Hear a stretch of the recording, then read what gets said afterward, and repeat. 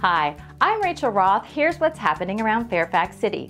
Virtual Fall Festival has begun, and it lasts throughout the month of October. Go to fairfaxfallfest.com to peruse the dozens of vendors participating in this year's festival. From unique apparel to gourmet foods to handcrafted items, this virtual festival has it all.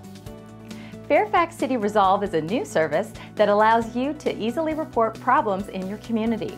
Whether it's a blocked storm drain, graffiti on a wall, or anything else the city is responsible for, use Fairfax City Resolve to get the problem fixed fast. From the city's homepage, simply click on the Report button to alert the city to the problem. Fairfax City Resolve is also available as a smartphone app for both iPhone and Android. Download the app today and help keep the City of Fairfax a safe, clean, and welcoming place to live.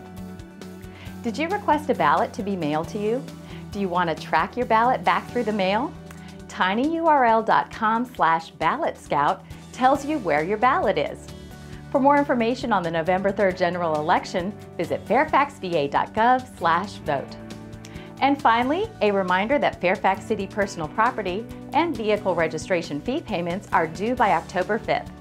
Beginning this year, the city will issue decals only for vehicles registered in a residential parking permit district. So if that doesn't apply to you, no more decal. For up-to-date Fairfax City information, check out City Screen 12, visit fairfaxva.gov, or follow us on social media at City of Fairfax VA.